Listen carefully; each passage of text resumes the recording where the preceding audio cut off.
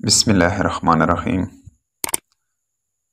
Hi guys अस्सलाम वालेकुम मैं हूँ आपका दोस्त बरकतुल्ला आपको एमसीक्यूज़ की दुनिया से खुश आमदीद कहता हूँ।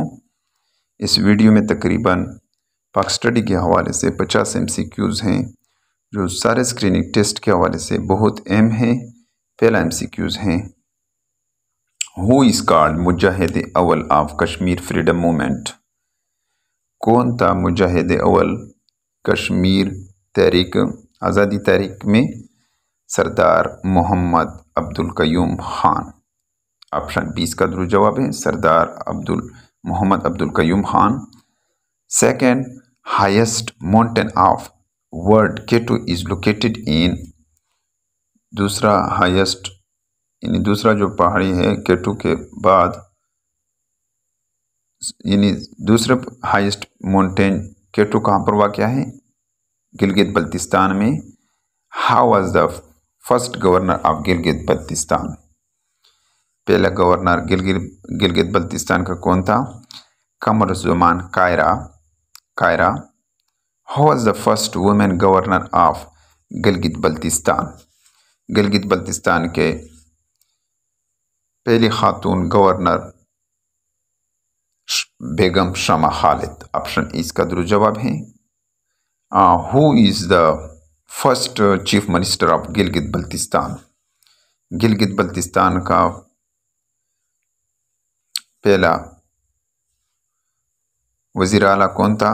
Syed Mehdi Ali Shah. Which valley is known as roof of the world किस विली को रूफ ऑफ़ द वर्ल्ड कहते हैं? बल्तिस्तान को। इस सवाल में ये पूछा गया है कि किस विली को किस विली को which will is known as roof of the world किस विली को रूफ ऑफ़ द वर्ल्ड कहते हैं?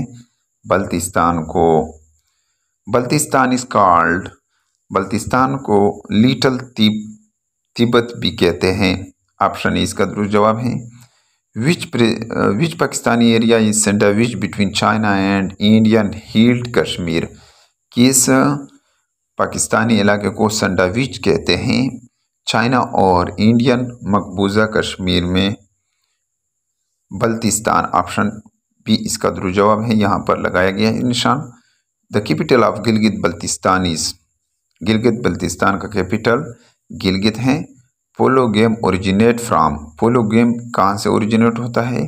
गिलगित बल्तिस्तान से। And summer season polo tournament are held in summer season में पोलो टूर्नामेंट मनद किया जाता है। कहाँ पर? गिलगित बल्तिस्तान में Shina is a local language of Shina मकामी ज़बान है। गिलगित का, गिलगित बल्तिस्तान का ऑप्शन इसका दुरुस्त जवाब है। The severity of 2005 earthquake in Pakistan on Richter scale was शिदत 2005 का जो सिलसिला आया था जिलजिला आया था पाकिस्तान में, उसका शिदत कितने था? सात अशारिया छः रिचर स्केल पर उसका जो है शिदत था, वो सात अशारिया छः था। The common value among the people of Pakistan is मुश्तरक अकदार, या वैल्यू जो है पाकिस्तान के लोगों में, वो इस्लाम है। यानी सारे मुसलमानों में इस्लाम एक मुश्तरक खसूसियात हैं। हुआ the first governor general of Gilgit Baltistan यानी गवर्नर जनरल ऑफ़ पाकिस्तान पहला गवर्नर जनरल ऑफ़ पाकिस्तान कौन था कायद अजम मोहम्मद अली जीना ऑप्शन इसका दुरुस्त जवाब है which country situated in the east of Pakistan कौन सा मुल्क पाकिस्तान की ईस्ट में वाक़ है India when was first Pakistani post stamp issued कब पाकिस्तानी स्टम्प इशू हुआ था जुलाई 1948 ऑप्शन डी इसका दुरुस्त जवाब है who was the first commander chief of Pakistan army पहला कमांडर चीफ पाकिस्तान आर्मी का कौन था? जनरल फ्रैंक मिसर भी ऑप्शन डी इसका दुरुस्त जवाब है। The Indian council act Minto Morley reforms was enacted into law in Indian council act Minto Morley असलाहत का मुनाफिज हुए। 1909 में Rowlatt act come into operation in Rowlatt act operation अमल में आया कब? 1919 में। The Nehru report was published in Nehru report कब publish हुआ था?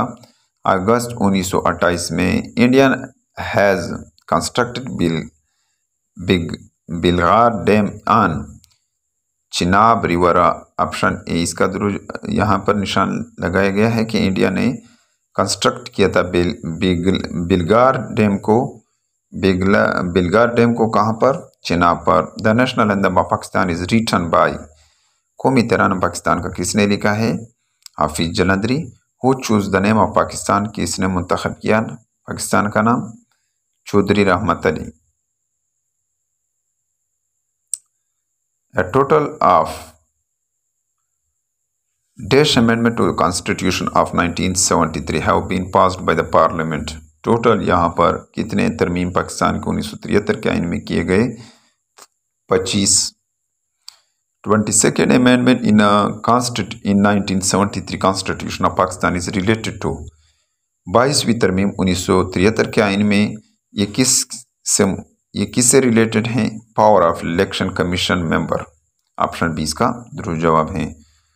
Jinnah the only film on the life of Quaid Azam was pro pro produced by Jinnah film जो पाकिस्तान कायद अजम की ज़िंदगी पर है, सिर्फ़ वो किसने इसको पेश किया है? जम, जमील दहलवी ऑप्शन है, इसका जवाब है।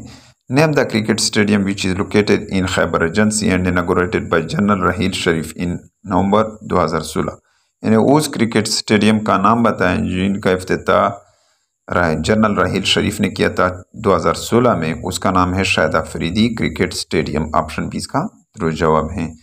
Who is the current chief of army staff C O C O S Pakistan. General Kamar Javed Bajwa, who is the current chairman, Joint Chief of Staff Committee, Pakistan. General Zubair Hayat यहाँ पर निशान दिया गया है।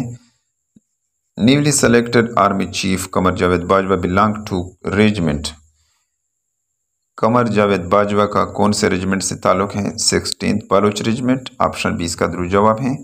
Kamar General Kamar Javed Bajwa is a chief of army staff of Pakistan ये कमर जावेद बाजवा सोलहवें number पर chief of staff हैं पाकिस्तान का। General Zubair Hayat is the seventeen chairman joint chief of staff committee of Pakistan general Zubair Hayat सतारवें number पर chief chairman joint chief of staff हैं। Qamar, general Qamar Javed Bajwa took oath as a army chief of Qamar Javed Bajwa ने हल्फ उठाया था कब? उनतीस नवंबर 2016 को। उनतीस नवंबर 2016 till now how many chief of army staff of Pakistan are selected from Baloch regiment अभी तक कितने chief of staff Baloch regiment से सेलेक्टेड किए गए हैं चार।